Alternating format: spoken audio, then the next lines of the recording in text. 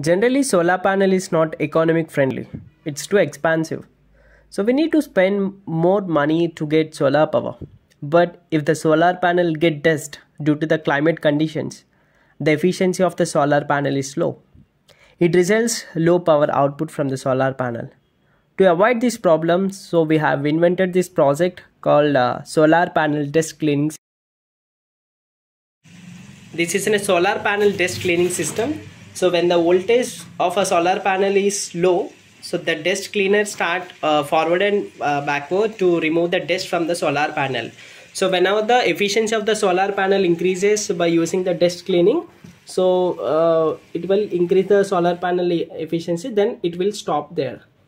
Again, when the solar panel uh, efficiency is very low, so then the dust cleaning start forward and uh, backward to remove the dust from the solar panel. Here we can observe here. So uh, present the voltage is very low. So here we can adjust via potentiometer.